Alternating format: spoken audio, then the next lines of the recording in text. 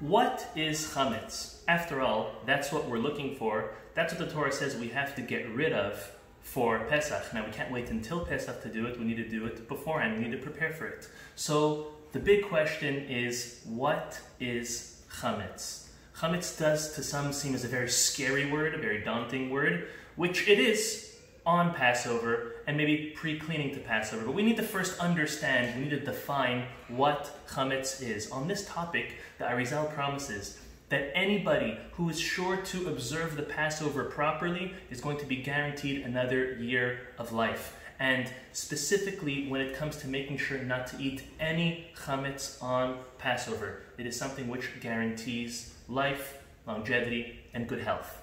So, chametz is the following there are five main grains that our Torah speaks to us about that are the five grains which sustain a person. These five grains, when ground up and put into flour, this flour mixed with water turns into dough, and that is what gives us bread. Chametz is any of these five grains in any of their forms once they have already started to swell, coagulate, or ferment. So what are the five grains? The first is obviously wheat.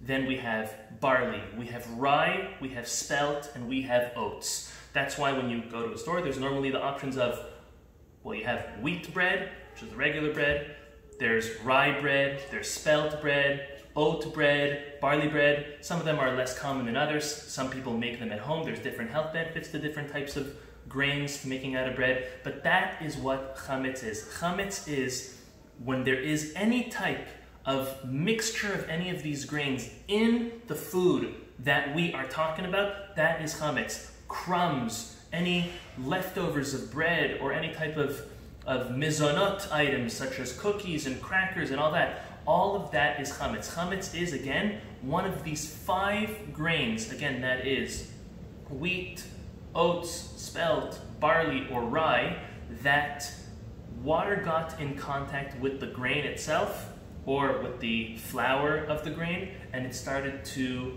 rise, whether it be coagulate, swell, ferment, that is called chametz when it rises. Now, it's important to note that the same ingredients which makes a chametz bread for all intent and purposes is exactly the same ingredients that makes matzah Watch our next video, because that'll explain what matzah is.